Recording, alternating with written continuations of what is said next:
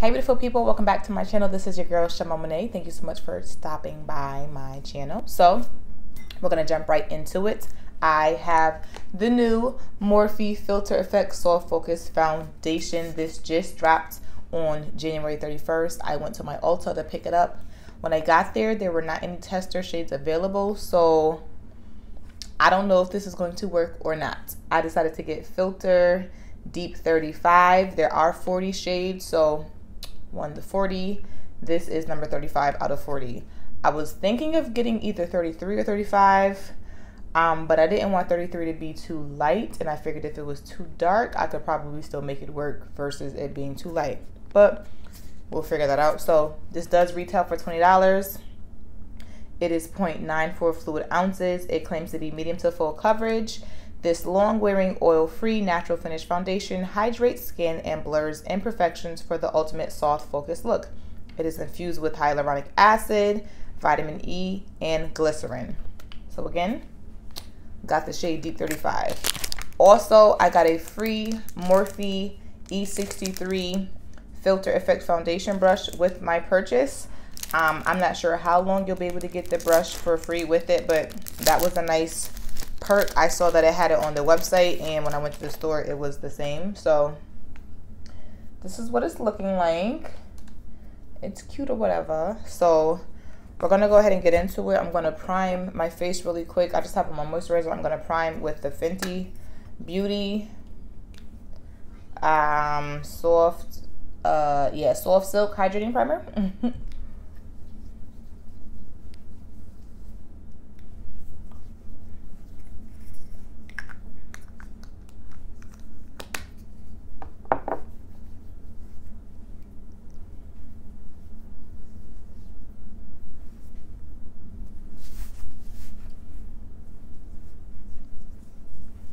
All right, so let's get into this foundation.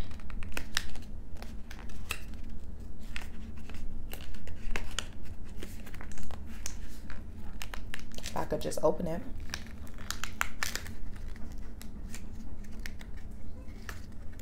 This thing is in here like for real. All right. Lord, I pray this shade works. All right, so it is a glass bottle. It's frosted. All right, it's not scaring me because again, I, I didn't want it to be too light. So this definitely doesn't look too light. Let's give it a good shake.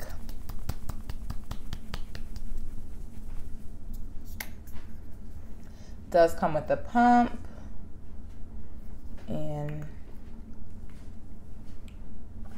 all right so not looking bad that's about two full pumps. And yeah, I'm gonna go ahead and oh, I think this I think this will work. I'm gonna go ahead and do this side of my face first. If you're not familiar with my channel, I do have dry skin and I really like skin light foundations.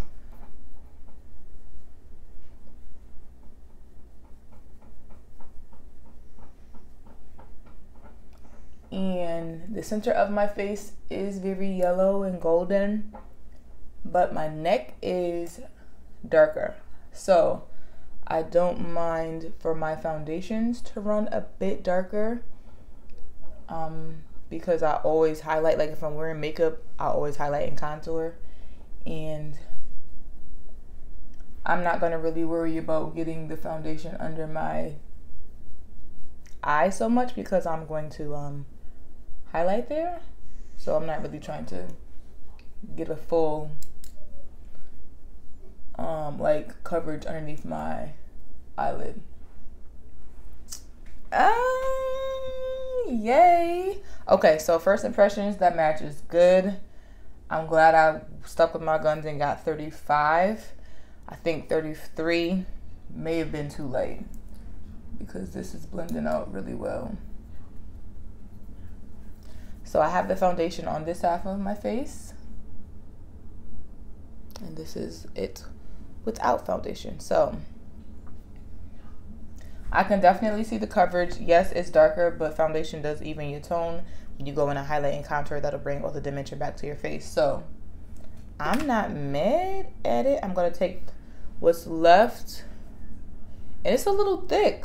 It's a little thick. I'm gonna take what's left on my hand and work that in. And I might actually need a little bit more. Just so I can even it out with the amount I put on the other side of my face.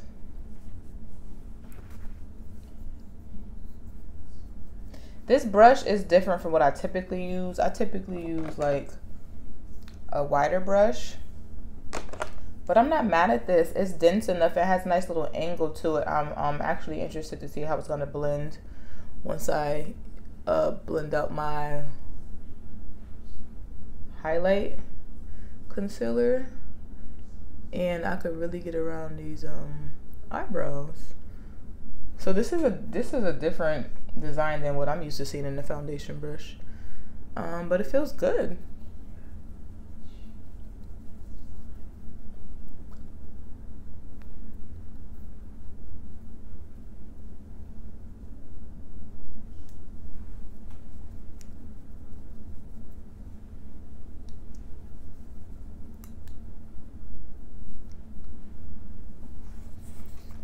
All right, so this is my face with the foundation on. Again, I got the shade Deep 35. And this is literally matching like my typical go-to foundations. Maybelline 360 Mocha, um, CoverGirl Tru Blend D70. I believe that's Cappuccino. Those are like my go-tos as of late. I've been using the Huda Beauty um, foundation stick and nutmeg. So it's looking about the same. I'm going to go ahead finish off my face really quick and I'll come back to show you all the finished look.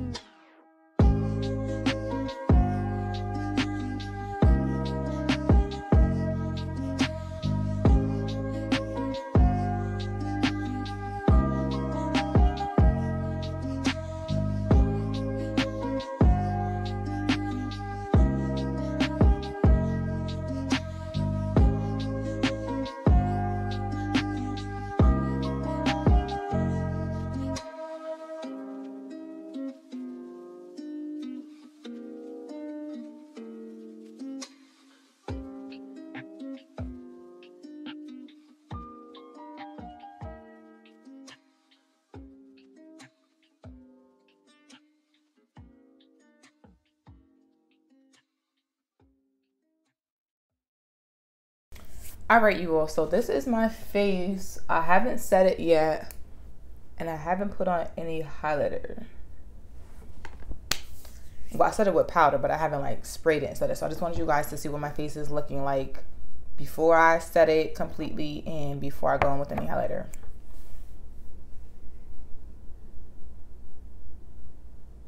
All right so i'm gonna go ahead and set it with the morphe continuous setting mist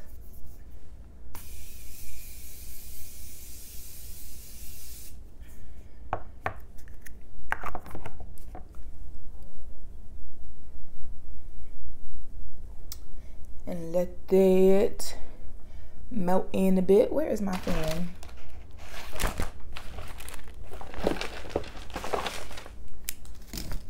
Here we go.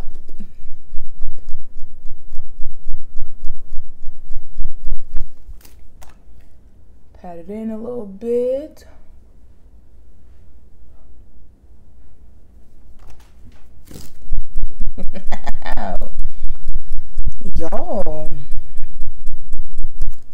Now let me just say, I did not get the first foundation um that Morphe came out with.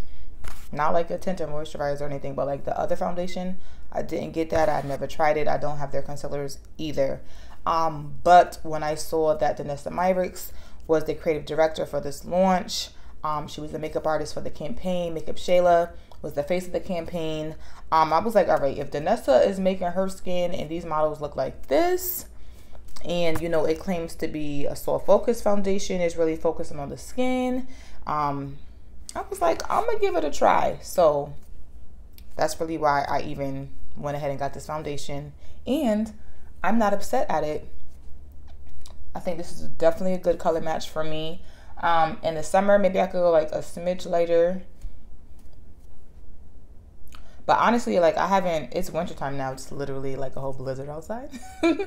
but, um, because I guess technically in the summer I would be darker, but I feel like I feel like if anything I wouldn't need to go any darker, and could probably get away with like maybe one lighter. But I'm completely satisfied with the shade match. looks good. It feels good. Um, definitely has some coverage to it. I didn't build it up, um, but it definitely wasn't like light coverage. Like as soon as I started putting on my face, I saw the coverage. It blended out great. Feels very light. Feels skin like. It looks skin like. I am not one to set my entire face with powder. I like rarely ever have to do that. Um, so I did not do that with this foundation. I only set the areas where I put on concealer to highlight and I set my contour areas, but like the whole perimeter of my face is not set with powder, just with this spray. But I'm loving this finished look. Let me know what you think about this look, what you think about the foundation, shade match, all that jazz down below in the comments. As always, if you like this video, please give your girl a thumbs up. If you're interested, you like the videos, check out what I have. By all means, click subscribe and join my family over here on YouTube. And yeah, let me know if you guys are going to check out this foundation. Again, this is the Morphe Soft Focus, the Morphe Filter Effect Soft Focus Foundation. I got the shade Deep 35. Retails for $20. It's a new launch. It is available in Ulta. In Ulta's, I called mine to make sure they had it, but it's sold in Ulta and Ulta.com. And um, it will be on the Morphe site, I believe, on the 16th of February. So, yeah, currently the only place you can get it is from Ulta or Ulta.com. I hope this video was helpful. Honestly, there weren't like a lot of swatches that I saw out um, or anything like that, like shade comparison. So hopefully if you're anywhere near my skin tone, near my shade, I always have um, a list in the description box of foundations that I have and the shades that I am. So hopefully this will be helpful to you if you are interested. And if your Ulta, like my Ulta, does not have testers out for you to swatch, hopefully I can be used as a shade comparison. And I hope that you all are staying safe, healthy, and blessed. And until next time, bye.